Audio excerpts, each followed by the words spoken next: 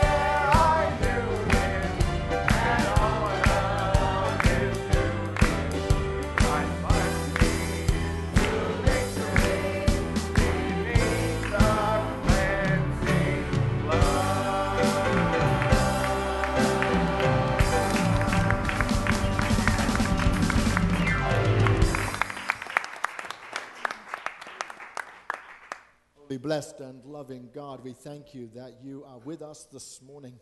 And we thank you that we are able to share in the redeeming love of Jesus the Christ, who's present with us this morning, who has indeed given us victory victory over so many things of our own lives victory over addictions, victory over self doubt, victory over shame, victory over guilt victory so that we can come and be in the presence of God this morning, unashamed and unabashful, just to be standing and present with you this morning.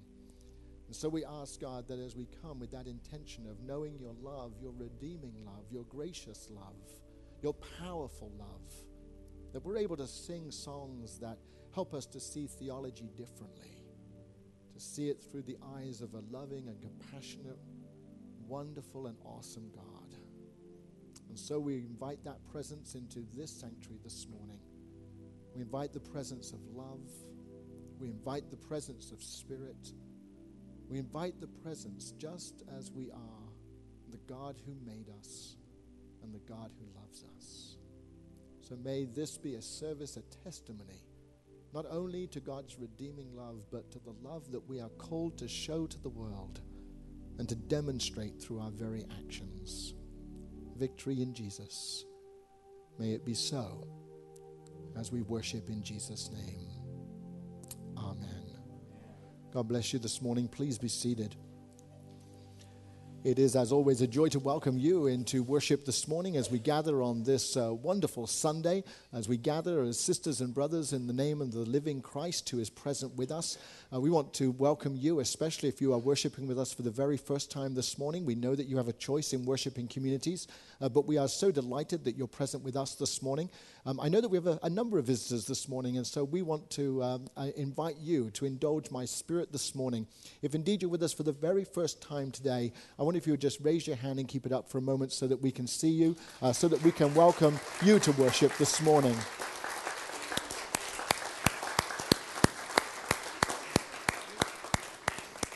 Our ushers will get to you, but please do accept this brochure and a flower as our way of acknowledging your presence amongst us. Uh, inside the brochure, you'll find more information about our church. Uh, you'll also find a welcome card that's designed specifically for you this morning. Uh, later on in the service, we do receive an offering, and we invite you to complete those cards and to place those cards into the offering plates. Uh, they do ask you for some personal information, uh, a way in which we'll be able to contact you. Uh, those cards will come directly to me. My name is Reverend Dr. Neil Thomas. I'm the senior pastor of our congregation. And along with every single person that surrounds you this morning, uh, we are the ministers of this church, and we are just so delighted that you have joined us this morning. We also want to uh, welcome all those who are joining us live on the internet this morning. Uh, we are church for you, and we are just so glad that you are here. And so we uh, hope that you will enjoy worship with us as you join us live from around the world this morning. You'll see that the ushers have passed out the welcome tablets, so please do take a moment to complete those for us this morning. Uh, let us know that you've been present. Uh, also, let us know if we can be of service to you. If you would like a minister to call, uh, there is a box that you can check, and we will make sure that we follow up with you in the next uh, day or so. However, in order for us to follow up with you, we do need to have both your first and your last names. Uh, many of you have been just signing in with your first names, which is beautiful. We're glad that you signed in. But believe it or not, there are more than one John in the congregation or one Sally. So please do give us your first and last names. It does make our job so much easier. And then we don't have to phone every John in order to make sure that we get the person who wanted us to call. Uh, so we really appreciate your help and your support in that. Inside the orders of worship are the announcements for today and for the upcoming weeks. Uh, we are now resuming, of course, uh, in the new year, all of our ministries and programs. So please uh, do note that uh, those activities are beginning again uh, now that we are in the new year. Uh, we are not able to announce everything on a Sunday morning, so it is important that you take your orders of worship home, uh, that you look at the announcements and check the calendar of events. Uh, and please do join us as often as you possibly can as we build community one with each other. A few announcements that we do have for you this morning, however. Uh, first of all, to let you know that uh, our people of African descent, our Azania group, uh, will be meeting directly after worship this morning, approximately around 12:30 uh, in the upper room uh, above the fellowship hall. So, if you would like more information about that, uh, please do join Azania after worship this morning at about 12:30. Today we begin a new sermon series called The Gifts of Epiphany. Um, and we will be sharing over the next four weeks uh, those gifts of Epiphany, the gifts that the Magi brought to, uh, to Jesus all those years ago gold, frankincense, and myrrh. And we'll be examining what those gifts were and what implications they have not only on Jesus, but also on our own personal lives. And uh, today we'll begin that series uh, with the gifts of Epiphany. Uh, this week, we begin a new ministry within our congregation. Uh, we have, uh, certainly over the last year or so, have really reached out and have found a number of Filipino peoples who are joining us with worship. And on Tuesday, we begin a new Bible study program. Uh, God's grace is given through the gospel, um, and that will be shared in Tagalog and in English. Um, and so we are just so excited about that. Uh, Cherry will be leading that group, and uh, Cherry's up in the balcony this morning. And so, if you would like more information, please do see Cherry. Uh, we are just so so delighted that she is going to lead us in that Bible study program. On Wednesday evenings, of course, we have our spiritual enrichment classes. Uh, we begin uh, at 6.30 on Wednesday evenings with a service of meditation in the style of Taizé. And then at 7.30, we begin our Bible study. Uh, Garrett uh, Clint is uh, leading our Bible study program for the next few weeks. Um, and he's doing a study in the book of Song of Songs, or the Song of Solomon from the Old Testament. Um, and so please do feel free to join him on Wednesday evenings. As I said, there are so many things that we get to do together. Uh, today is Brown Bag Sunday lunch program, and between the services, uh, we put uh, put together about 300 brown bag lunches for the homeless in our city. Um, and directly following worship this morning, uh, volunteers will be going down to downtown to distribute those uh, brown bag lunches.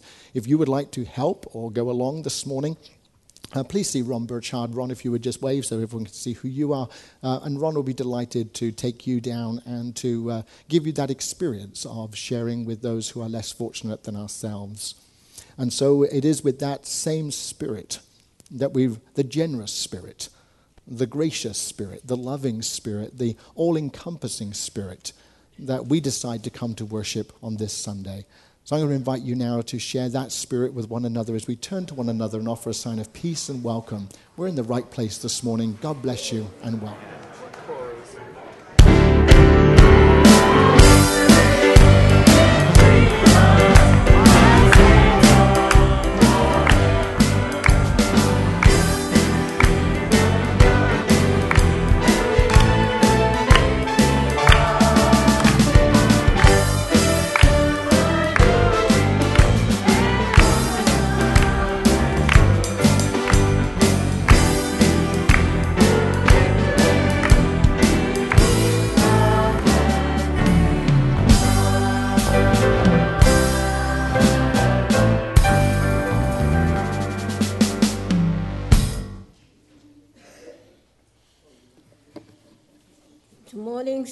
This morning's scripture reading is from Mark chapter 1, verses 4 through 11 from the New International Version. And so John the Baptist appeared in the wilderness, preaching a baptism of repentance for the forgiveness of sins. The whole Judean countryside and all the people of Jerusalem went out to him, confessing their sins. They were baptized by him in the Jordan River. John wore clothing made of camel's hair with a leather belt around his waist, and he ate locusts and wild honey. And this was his message After me comes the one more powerful than I, the straps of whose sandals I am not worthy to stoop down and untie. I baptize you with the water, but he will baptize you with the Holy Spirit. At that time, Jesus came from Nazareth in Galilee and was baptized by John in the Jordan. Just as Jesus was coming up out of the water, he saw heaven being torn open and the Spirit descending on him like a dove. And a voice came from heaven You are my Son, who I love and with whom I am well pleased. Hear what the Spirit says today. Amen.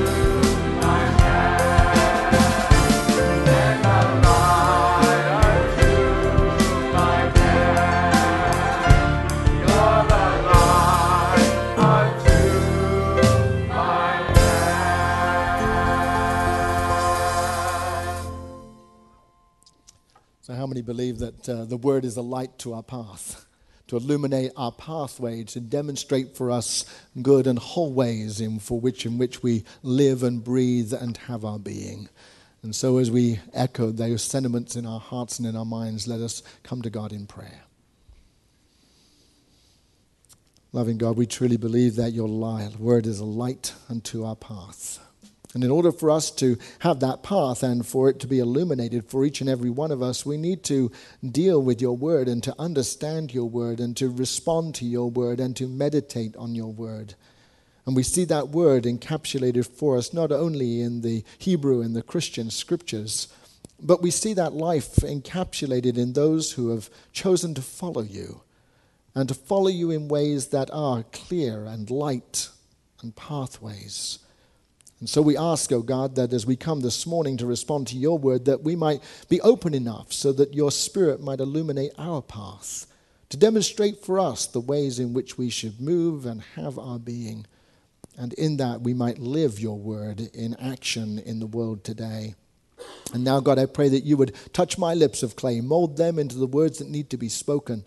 And may the words that come from my mouth and the meditations on each and every one of our hearts, may they be ever acceptable to you in the name of Jesus the Christ, in whom we pray.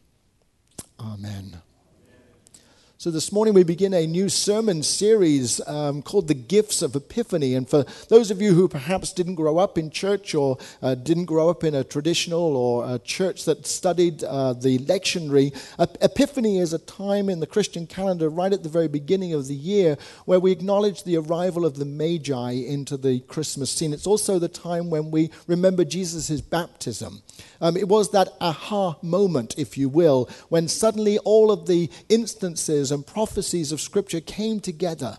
And in that moment of baptism, when Jesus went into the water and came up, and the heavens opened, and the sky and the Holy Spirit said, This is my child with whom I'm well pleased, Jesus received the Holy Spirit, and suddenly there was the beginning of Jesus' ministry all came together in this moment of epiphany. Now, we all know epiphanies in our own lives. We know how we've had those aha moments uh, in our own lives where suddenly things click, suddenly things become clear.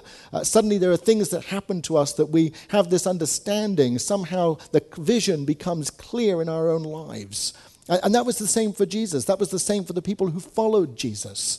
Suddenly there was this moment of aha moments. And so, over the next few weeks, we're going to be looking at the gifts of Epiphany. Uh, the gifts of the Magi, the gold, the frankincense, and the myrrh, and to come to an understanding not only of what those gifts meant to Jesus and to the, the peoples 2,000 years ago, but also to us in our own context and in our own lives. Uh, but this morning, I just wanted to focus on the gifts of Epiphany.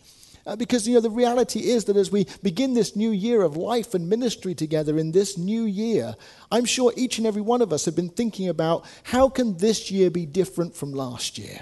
How can we experience life differently? How can we experience the gifts of Epiphany for ourselves? How can we do things new this year? Especially those of us who've perhaps been around church for a long time. You know, it can get a bit, uh, a bit old, a bit stale sometimes. You know, that been there, done that, worn the t shirt, want to make the movie, I'm in Hollywood. You know, all those sorts of things that happen for us. Uh, things can get a little bit stale. And, and certainly, you know, as, um, for, for, those of us, uh, as I say, who've been around for a while around churches, sometimes we just need a little bit of revival, a little bit of renewal, a little bit of a dose of the Holy Spirit, if you will or as our Baptist friends would say, a, a dab of the Holy Ghost. You know, to come upon us and to give, give us a wake up call to to kick us up the butt just a little bit and move us on in our journey. Well, certainly that was what was happening for those early disciples. You know, the story uh, that was revealed for us in Scripture this morning about John the Baptizer. Now, now John had been around for a while. Uh, we also know that John and Jesus knew each other quite well because they were part of the same family. Uh, and John was, was out there preparing the way. He was out there preparing people to encounter this Jesus, this Christ that was to be revealed to them. It wasn't Jesus' time, and so John was out there preparing the people. He was baptizing them in the River Jordan and in other places to prepare them to uh, let go of their sin, to let go of their shortcomings. He was out there preparing the way. And uh, he knew that there was one who was going to come after him who he was not yet even worthy enough to untie his sandals. And you can imagine what it might have been like that day as John was out in the river. He'd been out there many times. He'd uh, been out there, and there were people coming, and they were preparing their hearts and their minds for this Christ that was to come. And suddenly, if you've ever been in this situation, out of your peripheral viewing, you see someone coming. And for John, this was Jesus. Now, perhaps John thought in that moment that his ministry was coming to an end because if Jesus was coming now, perhaps Jesus was going to finally baptize John. Perhaps that's what he'd been longing for. Perhaps that's what he'd been waiting for. Perhaps that's what he'd been hoping for. And, and, and, out of his image, you can just imagine it's like, oh, yeah, this is the last one I have to baptize this morning. Jesus is going to come, he's going to baptize me, and it's all going to be over. We can start the ministry that we're professing. And then Jesus comes to John, and John's kind of like, yeah, it's me first. And Jesus says, No, I want you to baptize me. Oh, that's like, that's like if those of us who've had heroes or sheroes in our lives and we've kind of looked up to them, admired them, and then suddenly they come and want something from us. You know, instead of the other way around when we're always looking for something from them, bless you. But, you know, it's a, it's a, suddenly that they want something from us. And suddenly Jesus comes and John takes Jesus and places him in the water. And then the miracle of Epiphany begins. He comes up out of the water. Says that the skies opened. The Holy Spirit descended upon Jesus. And a voice from heaven said, This is my child.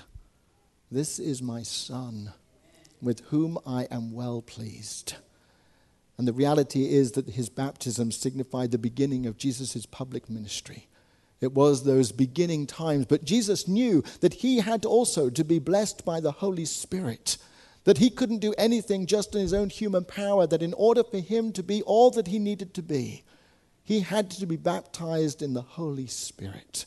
And in that Holy Spirit, there was power. In that Holy Spirit, there was grace. In that Holy Spirit, there was the ability to overcome all of the things that he'd necessarily gone through right up to this time. And in that Holy Spirit, all things would be made new. There was a gift of epiphany for Jesus, and there is a gift of epiphany for you and for me as we stand on the threshold of this new day, of this new year, of this new moment. There are gifts of epiphany that are waiting to be poured out on each and every one of us because this is a new day. Now, I, I believe that every day is a new day, that every single moment is a new blessing and that every single moment of our lives should be seen from the perspective through the lens of the gift of epiphany, the gift of newness, the gift of life, the gift that makes all things new for you and me. And we could be forgiven for stepping into this new year and not thinking about how this experience of a new year could be new, could be different. Because so many of us have gone through life.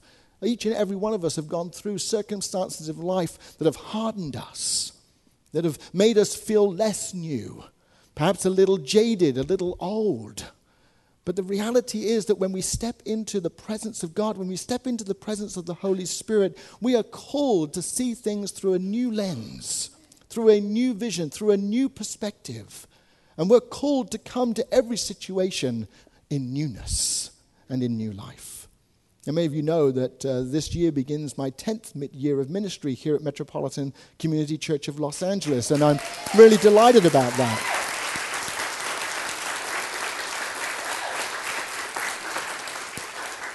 I don't know about you, but I don't know where time goes. It just seems, you know, just a few minutes ago that I was uh, stepping onto a plane in Great Britain and landing in Los Angeles and wondering, what on earth am I doing here? I know there are many of you who are still in the church this morning, Reverend Onetta Brooks. You're still wondering, what am I doing here? it's a question I wake up every morning. What am I doing here? In fact, just over 10 years ago, I remember it was Tim Hamilton who was given the job of uh, looking after me when I came here for, uh, for my candidacy. And it was Halloween in West Hollywood. that certainly prepared me for ministry in Los Angeles. I won't tell you what Tim dressed me as, but I have pictures. Incredible. You know, sometimes uh, I think to myself, how can we do all things new? You know, after 10 years, after 10 Christmases, after 10 New Years, after 10 Easters. I mean, how do you how do you make all things new? If that's really what the Holy Spirit's calling is upon our lives, how do we bring fresh eyes to those events, to those things in our lives? How do we bring that freshness and that newness? And one of the things I've realized in my life, and I know in your life too, is that the reality is that we have to reinvent ourselves over and over and over again. Because if we don't reinvent ourselves over and over again, we either change or we die. That the reality is that each and every one of us has to be open to that freshness and to that newness. And in that newness, there is life. Even Jesus had to be open to that newness of his life. He could no longer be just that itinerant preacher that was uh, going around and preaching for a while. That suddenly, in this epiphany, in this moment when he was baptized in the presence of the Holy Spirit, he was then to be on a public ministry that would call thousands and thousands to listen to him. That he'd be able to heal the sick and feed the hungry. And that no longer was he just one of the crowd, that he would have to step out from the crowd and live his life in a very public, public way. It was that epiphany that set him up to be the Christ, to be the one who would save the world, to be the one in which we would be able to establish new relationship with God. And in that new relationship, it wasn't a relationship based on dogma. Indeed, they were trying to, trying to reject dogma.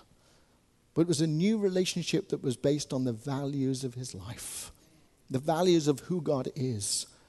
And here we are 2,000 years later, and we're still struggling with dogma. Instead of realizing that faith is all about values, it's all about life, it's all about life in abundance, it's all about life in blessing, and it's all about life from a perspective of the Holy Spirit. You see, that's what the gift is. That's the gift of Epiphany. It's the gift that opens our lives up to a power that is greater than ourselves, to a power that we call the Holy Spirit. And it's in that Holy Spirit that we can overcome the guilt, the shame. It is in that Holy Spirit that we can overcome the things that people have done to us or said about us or done to us that still hurt. It's in that power of the Holy Spirit that we get to, to bring all things new in our own lives. And so we open ourselves this morning. We, in some ways, go down into those waters of baptism and we come up too and we wait for the, the Holy Spirit to look at us and to see us as those who are born in a new creation. The old is gone, the new has come. And we, but we must choose to let the old go and let the new come. And so many of us want to hold on to the old. So many of us want to hold on to those old ways. So many of us want to hold on to those old things, those old pains, those old hurts. Instead of allowing ourselves to go into those waters of baptism and find something new to see the newness of who we are. I know many of, uh, many of us have chosen in this new year to say, I'm going to, I'm going to work on my relationship with God. I'm going to work on my relationship with God. I'm going to do things new this year. And I'm delighted that we've chosen to be here this morning to perhaps start that commitment of our own journey, to perhaps do something different this year. The old hasn't worked sometimes. And sometimes we just need to come with new eyes and with new vision and with new purpose. Jesus' life began on that epiphany with a new opportunity to be of service, that new opportunity to see his life through a different lens and to be open to what was the gift that was given to him. Friends, what's the gift given to us? What is the gift? What does this new day present for you and for me as we unwrap the last present of Christmas? You know, we've, we've already unwrapped all those wonderful gifts that people have given to us or that people have shared with us over the Christmas season. We've thrown away the, the boxes and the wrapping paper. We've put it into the recycling, I hope. We've done all of the things that we needed to do, but, but now, when there's no tree up, when there's no tinsel, when all of the decorations of Christmas are put away, there's yet one more gift to unwrap. And that's the gift God gives you. The gift that is you. For some, it will be freedom. For some, it will be liberation.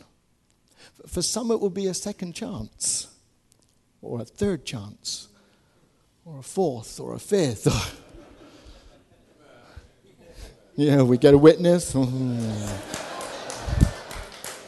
know, for, for many of us, it would be that next chance but whatever it is, we are called to unwrap that gift of epiphany for ourselves. And the gift of epiphany for you may be different than the gift of epiphany for you. Because God works and deals with us as individuals. God doesn't see us just as a, a homogenous group of people. Praise God. God sees us as individuals and sees us in our capacity and our capabilities and just uses who we are just as we are without one plea. And so it is this morning we ask ourselves what is the gift that I'm about to open this year? What is it that I'm going to give this year? Yesterday, last evening, I was invited to share with a congregation in Long Beach, Refiners Fire uh, Congregational Church. It's a UCC congregation and part of the fellowship churches. And so last evening, they just moved into a new building. They're sharing a building with another congregation, and they moved in and they had a celebration service last night. And they invited me to come and pray a blessing on their staff and upon their building and upon their outreach in Long Beach.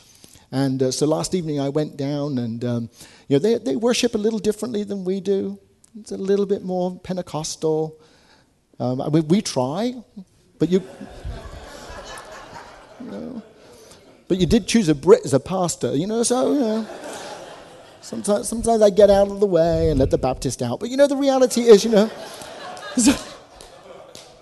but I tell you, yesterday as we went down and I, I went down and I shared with them, and they were so excited about this new thing that God was doing with them. This new thing. This new church, this new building, this new opportunity to minister. And it was so exciting to see this group of folks just embracing this new thing. And I thought about our congregation. I said, you know, sometimes it would be so easy for us just to get so comfortable, just to think, well, we've done it, we're here, we've landed. But the reality is that's not what God expects from us. Not as us as individuals or us as a church. That God wants us to constantly change, to reinvent ourselves, to be powered by the Holy Spirit. Because in that there is life. And if we don't change, we die. If we just accept status quo, we die. But that's not what we're invited to. We're invited to a party, to a banquet. We're invited to get excited. We're invited to allow the gift of epiphany to change us this morning and to find that blessing that only you can unwrap. I can't unwrap it for you. Only you can unwrap it. And that is the gift of Epiphany. So I'm going to invite you this morning to get down and dirty in the water. Ooh. That was, that was a different posting. We're going to get you down. Ooh.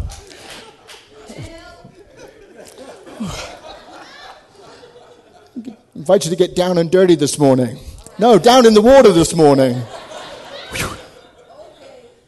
Let's get in. Let's get in. Let's get into those waters of baptism. Am I blushing? Oh my God. It's hot in here. Let's get. Okay, let's get back to the sermon. Let's get down into the water. And let's allow ourselves to bathe in that water this morning. And then when we're ready to unwrap that gift, let's come up. And let's just see that if we are truly truly wanting the presence of God in our lives, that as we come out of that water, our lives become new. And the Holy Spirit will bathe us and will wash away the things that we don't need anymore and will surface within us the gift the gift of life itself and the gift that makes all things new. As an individual, as a church, as a community, and as a world. But it only happens if we're prepared to unwrap the gift this morning the gift of Epiphany that is personal to you as it is to me. So, my prayer is that we get blessed this morning and we get blessed with our gift, the gift of Epiphany. Amen. Would you pray with me? God, we get so excited to be in your presence this morning, and we thank you that we can feel that presence around us in the folks that are sat next to us, in the music, in the prayers, in the celebration of worship. But we also acknowledge, God, that it can't just be about everybody else. It has to be about me. It has to be about who I am and what I'm able to bring as a gift of epiphany and what you bring to me, to you, and to me individually. So I pray, God, that as your son went into the water that day and came up and received the power of the Holy Spirit that enabled him to do great things, abundant things, that you too would empower us by that same Spirit this morning, that same Spirit that you told us we would do even greater things than you, that we might come out, out of the water. And as we come up out of the water, may we therefore begin to live life and see life through the lens of the Holy Spirit that is present within us. Thank you for life, God. Now I pray that the words that have come from my mouth might not return to you without blessing us, empowering us, helping us to see our worth and our belovedness in your sight. And as we see that, may we therefore live as those who believe that we are worthy of your grace. In the name of Christ I pray. Amen.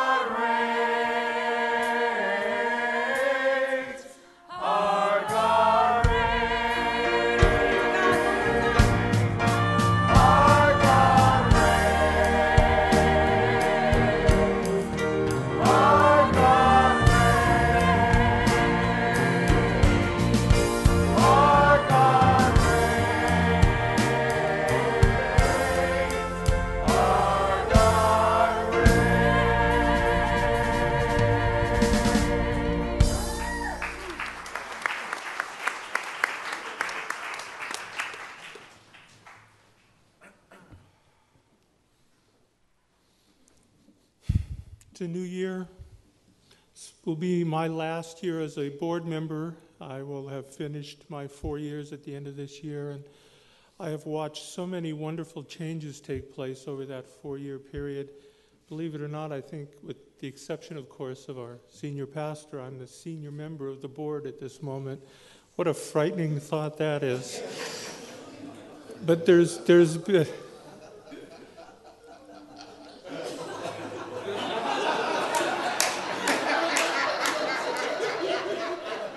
just slightly too much laughter behind that. the changes that have happened over the last four years are amazing, and it's, it's wonderful to be a part of it, and it's wonderful to watch it happen. And believe me, there are more wonderful changes that are about to happen that you will be hearing about soon, I'm sure. Um, one of the ways that we can assure that those changes happen, one of the ways that we can assure that we continue to move forward is by your participation.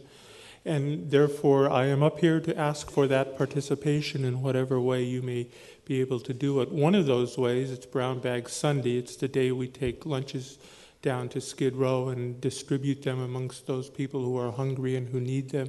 If you'd like to help in that process, please see Garrett Clint. I think he's here somewhere. Um, if he's, I'm getting head shakes. Maybe he isn't here. Oh, see Ron. There he is. He's raising his hand. He is back there to uh, to aid if you want to help. Uh, and of course, please give generously. If you, if you have not pledged yet, even though it is the new year, you can still give your pledge. It really helps for us to know what we can budget and make those changes hap- happen. Please pray with me. Jesus, I thank you for this offering. I pray blessings upon it. I ask that you give us direction in its use, that you bless all that we are able to do with the offering we are about to receive. I pray this in the name of Jesus. Amen.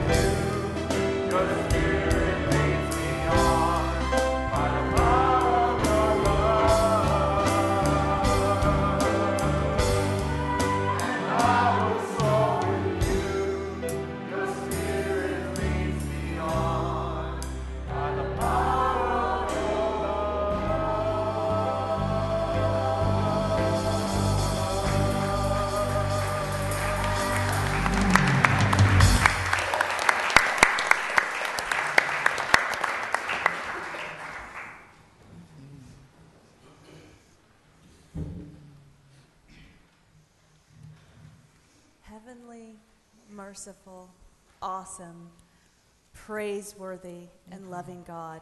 Yes. Thank you for bringing us to this place this morning. Yes. Thank you for the lovely music. Thank you for our awesome pastor. Thank you for all of the mm-hmm. ministers, the ushers, and every one that makes this such a loving place. Yes, God. We thank you for this new year, Lord. We thank you for the new things and for making so many things possible for us. And I ask this morning that you give all of us the open heart to let go. Let it go were the words that you gave me this morning. Let go Yes. of the hard childhood that we might have had. Let go of the bad relationships that we might experience. Let go of the addictions. Let go of the guilt. Let go of the shame. Let go of the self doubt. Believe that you are strong. Believe that you are powerful. Believe that you are brave. Believe that you are smart. Believe in your God sized dreams. Know that you can do it. And know that you are worthy. For God sent His Son. We were so blessed that He sent this innocent child who grew up to be such an awesome prophet, healer, Son of God, to show you and me how much God loves us.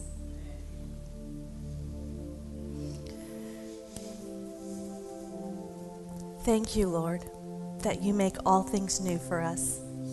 Allow us to be present for that. Allow us to be service for one another. Remind us to love one another.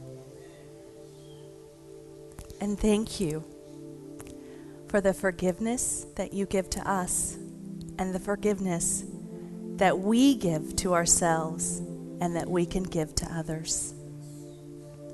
In Jesus' name I pray. Amen. Amen.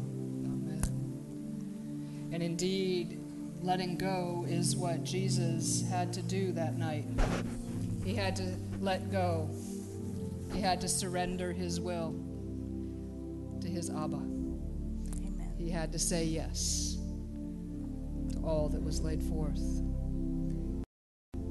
As he did so, he wanted to leave behind something for his beloved, his community, his followers, the disciples, those who followed him so many years, and those who were going to lead after his death. And so he took bread from the table, something simple. He blessed it, he broke it, and he shared it, as it is shared with you and with me this day. Here, take and eat of it. This is my bread, my body, given to you, so that indeed in the days to come, in the years to come, when you need to be fed, remember me. And in a similar way, he took the cup from the table. He gave thanks for it and passed it to all who were there, as it is passed to you and to me this day. Here, take and drink of this. This is my blood, my life essence, all of who I am, poured out for you and for me. Take and drink of it. For indeed, as you do, you shall be filled, and you shall never thirst again. Lord, thank you that the table has been prepared for us. We are all worthy to receive it. Yes. Please open our hearts and our minds so that we can come and receive it Yes. and know that it makes us new. Yes. In Jesus' name, amen. Amen and amen. Friends, here at MCC Los Angeles, as with all MCCs around the world, we share and we celebrate an open communion. That means you need not be a member of this church or of any church to come forward and partake of this meal. We simply ask that you come with an open heart. And if it's not quite open yet, just come forward if you feel moved. For indeed, God's with us in any time and any place that we are. In a moment, the ushers are going to guide you, and if you would like, there's stations located around the sanctuary to which you will be guided. And there, it is our tradition to take the elements, dip it in non alcoholic grape juice, place it upon your tongue, or you may take and dip and receive yourself, and then we share a brief blessing with you.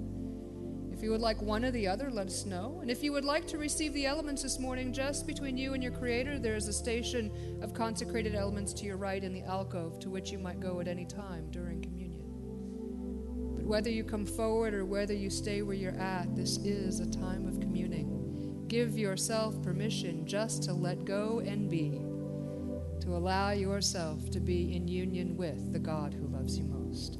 So, friends, with the servers and acolytes, please join, and together may we keep this feast one with the other.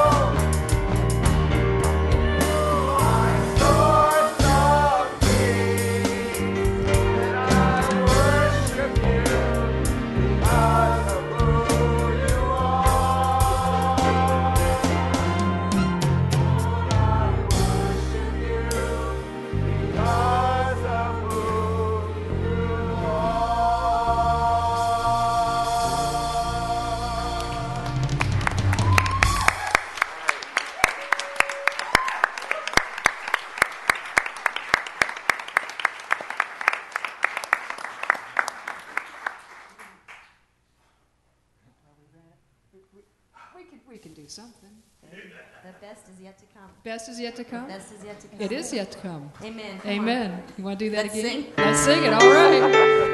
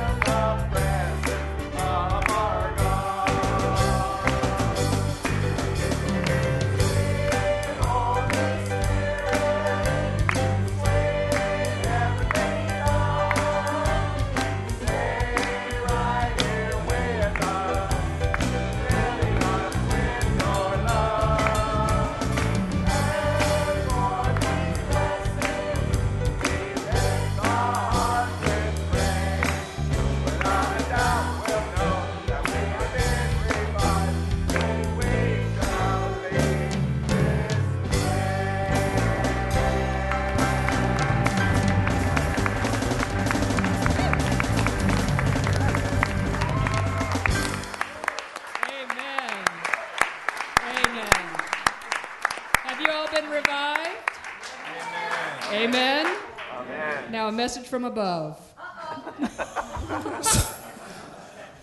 So, this morning, friends, we've been invited to find our epiphany moment, to come up out of the water. Mm-hmm. And many of us have lived under the water for far too long. Yes.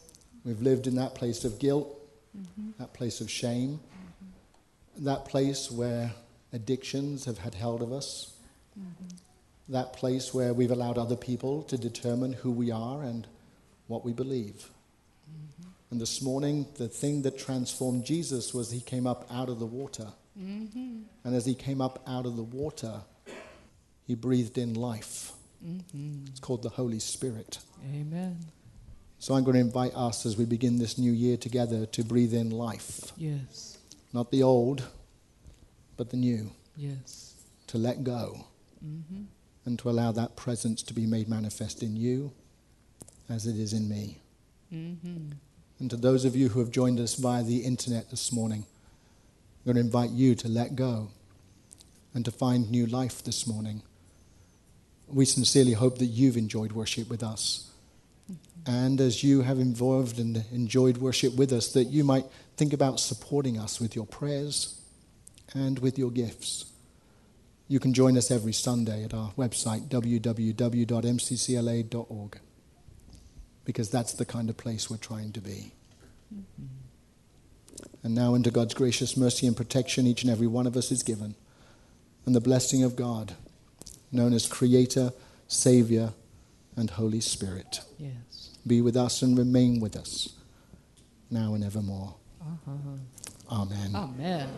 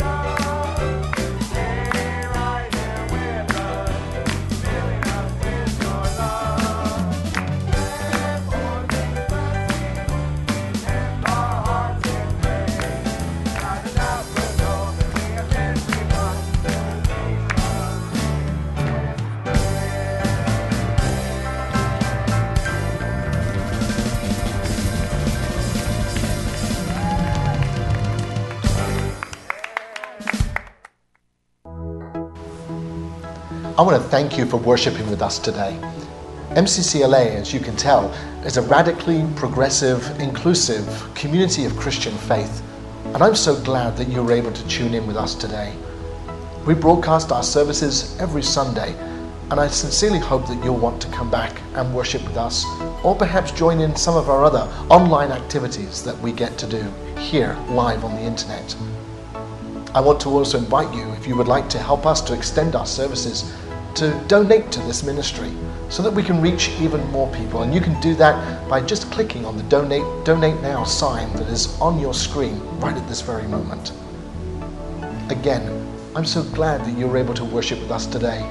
And we want you to know that God loves you just where you are and just who you are. Thank you again, and I do look forward to welcoming you back to worship either next Sunday or perhaps at another time that we get to meet via the internet.